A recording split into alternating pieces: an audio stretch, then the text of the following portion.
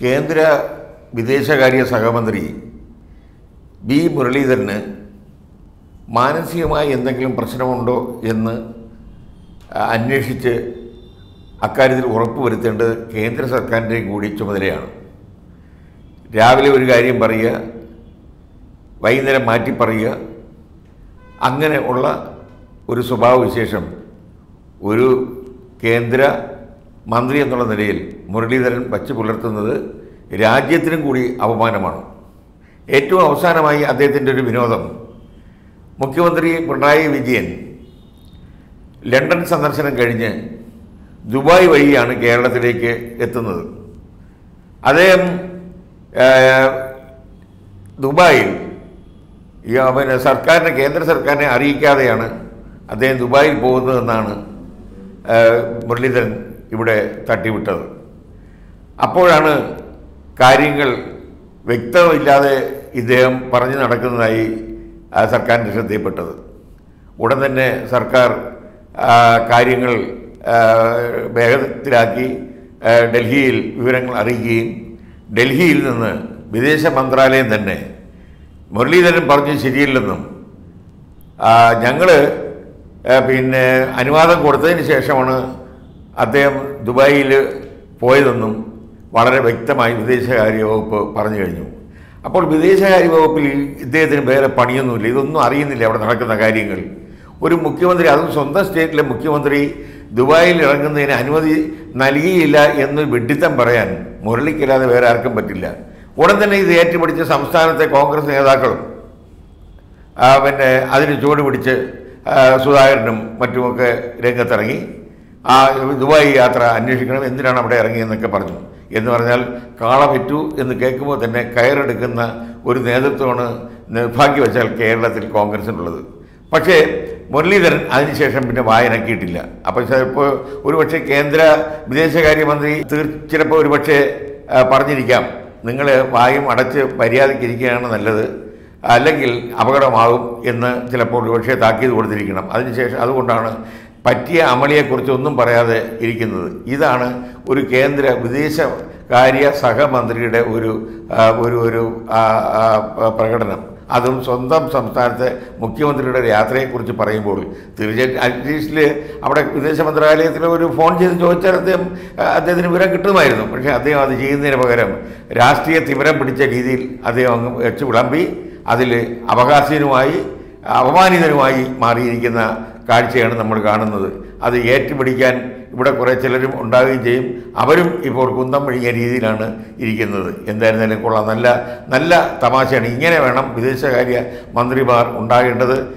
എത്രയോ പ്രഗത്ഭന്മാർ ഇരുന്ന കസേരയിലാണ് ഇദ്ദേഹം ഇരിക്കുന്നത്. പക്ഷേ ചെയ്യുന്ന പ്രവൃത്തികളെല്ലാം ഇങ്ങനെ തലചെരിഞ്ഞു പോകുന്നു എന്നുള്ളതേ ഉള്ളൂ. മുഖ്യമന്ത്രി പിണറായി വിജയൻ ഇതാദ്യമായിട്ടല്ല വിദേശത്ത് പോകുന്നത്. അദ്ദേഹം നിരവധി പ്രാവശ്യം വിദേശത്ത് പോയിട്ടുണ്ട് സ്വകാര്യ ആവശ്യത്തിനും പോയിട്ടുണ്ട് ചികിത്സയ്ക്ക് പോയിട്ടുണ്ട് അതുപോലെ തന്നെ ഔദ്യോഗികമായും പോയിട്ടുണ്ട്. അപ്പോൾ അതിനെല്ലാം അതിനൊരു നടപടിക്രമമുണ്ട്. വിദേശ മന്ത്രാലയത്തിന്റെ അനുമതി വാങ്ങിക്കാതെ ഒരു മുഖ്യമന്ത്രിക്ക് സംസ്ഥാനം വിട്ടു പോകാനാവില്ല എന്ന് ഏത് കുട്ടിക്കും അറിയാം. അപ്പോൾ അത്തരം യാത്രകൾ നടത്തി പരിചയമുള്ള നിലയ്ക്ക് മുഖ്യമന്ത്രി തീർച്ചയായിട്ടും ഈ അനുവാദം വാങ്ങാതെ പോകുമോ എന്നുള്ള കാര്യമെങ്കിലും ആലോചിക്കണമായിരുന്നു. അത് മാത്രമല്ല മുഖ്യമന്ത്രിയുടെ ഓഫീസിൽ ഈ കാര്യങ്ങളൊക്കെ നോക്കാനും അതിന്റെ കാര്യം കൃത്യമായി ചെയ്യാനും ഒക്കെ ഒരു ഏർപ്പാട് ചെയ്തിട്ടുണ്ട്. അവർ ഈ കാര്യം കൃത്യമായി തന്നെ അവരെ അറിയിക്കേണ്ടവർ അറിയിക്കുകയും വി- വിസ പോലുള്ള കാര്യങ്ങൾ കിട്ടു ലഭ്യമാക്കുന്നതിനുള്ള നടപടികൾ പൂർത്തിയാക്കുകയും ചെയ്യും. ഇതൊന്നും മനസ്സിലാക്കാതെ ചാടിക്കയറി ഒരു അഭിപ്രായം പറയുക എന്നിട്ട് പിന്നെ ഇളിമ്പിനാവുക എന്നിട്ട് ഈ ജാള്യത മറച്ചു വയ്ക്കാൻ വേണ്ടി വേറെ എന്തെങ്കിലും ഒരു ആരോപണം ഉന്നയിക്കുക ഇത് ബി മുരളീധരന്റെ ഒരു സ്ഥിരം പരിപാടിയാണ്. അപ്പോൾ ഇതിൽ നിന്ന് ഒരു കാര്യം മനസ്സിലായി. നേരത്തെ തന്നെ ഡൽഹിയിലെ പത്രക്കാർ പറഞ്ഞു കേട്ടിട്ടുണ്ട് ബി മുരളീധരനും വിദേശകാര്യ മന്ത്രാലയത്തിൽ വലിയ ജോലിയൊന്നുമില്ല എന്നും അദ്ദേഹം വെറുതെ അവിടെ ഒരു നോക്കുകൂത്തിയായി ഇരിക്കുന്നുവെന്നും ആ, വിദേശകാര്യ മന്ത്രി ജയശങ്കർ ഇദ്ദേഹത്തെ നാല് അയലത്ത് അടുപ്പിച്ചിട്ടില്ലെന്നുമാണ് പറഞ്ഞു കേൾക്കുന്നത്. അപ്പോൾ അങ്ങനെ ഉള്ളപ്പോൾ തീർച്ചയായിട്ടും ഇദ്ദേഹത്തിന് വല്ലപ്പോഴും ഒരു വിദേശയാത്ര കൊടുക്കും. കാരണം വെറുതെ ഇരിക്കുന്ന മുഷിയുണ്ട എന്ന് വിചാരിച്ചിട്ട് ഏതെങ്കിലും നമ്മൾ ആരും കേൾക്കാത്ത ആഫ്രിക്കയിലെ ഭൂഖണ്ഡത്തിന്റെ ഏതെങ്കിലും കിഴക്കേ മൂലയിലോ വടക്കേ മൂലയിലുള്ള ഒരു രാജ്യത്ത് പോയി വരാൻ പറയും. അവിടുത്തെ പ്രസിഡന്റിന്റെ ജന്മനിര ജന്മദിനം ആശംസിക്കാനും അല്ലെങ്കിൽ ആ രാഷ്ട്രത്തിന്റെ ദേശീയ പരിപാടികളിൽ പങ്കെടുക്കാനോ എന്ന് പറഞ്ഞ് ഒരു യാത്ര അങ്ങോട്ട് കൊടുക്കും. അദ്ദേഹം അവിടെ ചെന്ന ഉടൻ തന്നെ ഒരു പടമൊക്കെ എടുത്ത് ഇവിടെ സ്വാധീനമുള്ള പത്രങ്ങളിൽ പടവും വാർത്തയായിട്ട് വരും. മുരളീധരൻ ആഫ്രിക്കയിൽ അന്റാർട്ടിക്കയിൽ എന്ന് പറഞ്ഞ് ഒരു പടവും വാർത്തയും വരുത്തും. അതോടുകൂടി അദ്ദേഹത്തിന്റെ പിന്നെ ഔദ്യോഗിക ജീവിതം അവിടെ പിന്നെ പര്യടനം അവസാനിക്കുകയാണ്. ഇതാണ് അദ്ദേഹത്തിന് ആകെ അവിടെ ഉള്ള ഒരു ജോലി. എന്നിട്ടാണ് പണ്ട് ഇതുപോലെ തന്നെ നമുക്കിവിടെ ഒരു വിദേശ പിന്നെ നമ്മുടെ ആ പിന്നെ പ്രതിരോധത്തിന് ഇവിടെ ഒരു സഹമന്ത്രി ഉണ്ടായിരുന്നു കൃഷ്ണകുമാർ.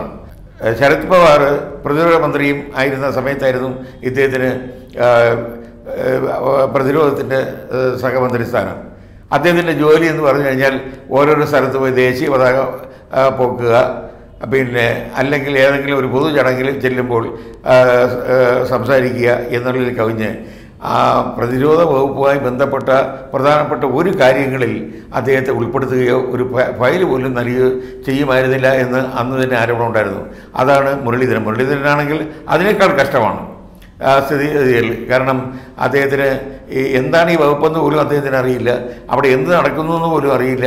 ആ ഒരു രീതിയാണ് പിന്നെ മുരളീധരനെ സംബന്ധിച്ചിട്ടുള്ളത് ശരിക്കും പറഞ്ഞാൽ മുരളീധരൻ ചെയ്യേണ്ടത് ഇനി പിന്നെ പ്രധാനമന്ത്രിയോട് പറഞ്ഞിട്ട് വേറെ ഏതെങ്കിലും ഒരു വകുപ്പിലേക്ക് മാറി പിന്നെ വല്ല കോമേ കൊമേഴ്സ് കോമേഴ്സോ അല്ലെങ്കിൽ വ്യവസായമോ അങ്ങനെയുള്ള ഏതെങ്കിലും ഒരു വകുപ്പിൽ മാറി അദ്ദേഹം പോകുന്നതാണ് നല്ലത്. കാരണം ജയശങ്കറിന്റെ കൂടെ ഇരിക്കും കാലം വി മുരളീധരന് ഒരു ഗതിയും കിട്ടുകയില്ല എന്നുള്ളത് വളരെ വ്യക്തമാണ്. അത് ഓരോ ദിവസം കഴിയുന്നതോറും അത് കൂടുതൽ തെളിയിച്ചു കൊണ്ടിരിക്കുകയാണ്